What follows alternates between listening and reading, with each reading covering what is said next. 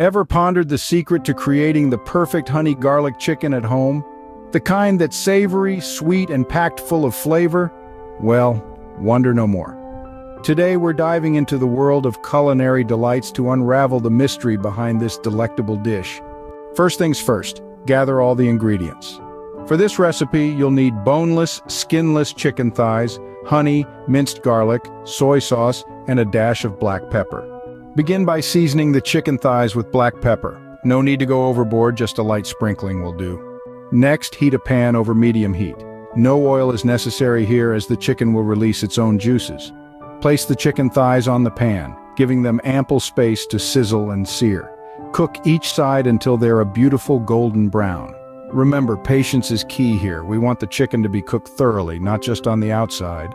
While the chicken is cooking, it's time to prepare the honey garlic sauce.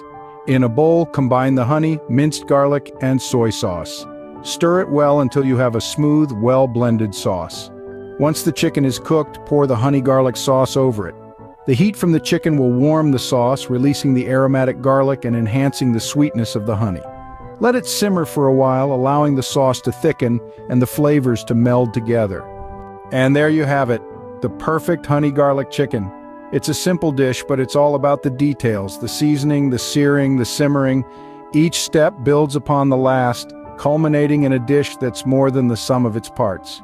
In summary, making the perfect honey garlic chicken involves seasoning and searing the chicken thighs, preparing a honey garlic sauce, and letting it simmer to perfection. It's a beautiful dance of flavors and techniques resulting in a dish that's sure to impress.